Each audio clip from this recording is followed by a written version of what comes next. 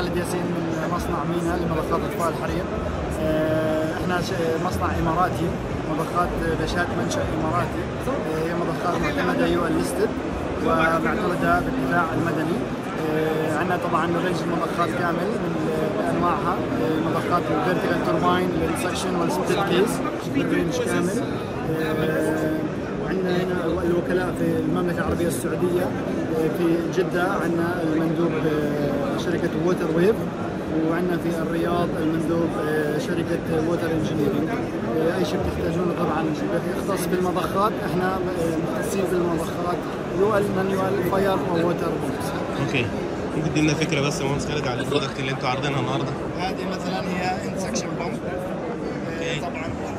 pump تيجي ب range من 50 GPM لغايه 1000 GPM. من من هذا ال side بيركب عندك ال diesel engine أو. أو ال electrical motor حسب طبعا المضخه وطبعا الجزء الثالث من ال system بيكون ال jockey pump وهي المضخه المساعدة okay. عندك أيضا هنا turbine pump. طبعا هي راسا على عقد هذا الجزء ال stages مع ال strainer مع ال pipe بيكون داخل ال tank. وهذا ال discharge بيركب هنا عندك يا gear drive يا بيركب ال diesel engine طبعا حسب آه، حجم